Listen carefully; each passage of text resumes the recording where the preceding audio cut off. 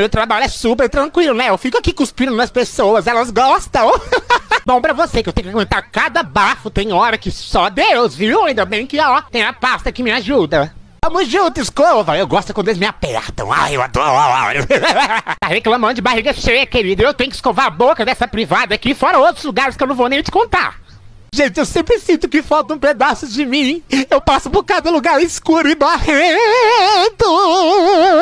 Ô, papel, eu te entendo, amado. Claro que eu passo em cada lugar que eu nem sei porquê, mas eu passo. E eu, que as pessoas vêm cuspir em mim, não fiz nada pra elas. Eu tô cansada de ser pisoteado, gente.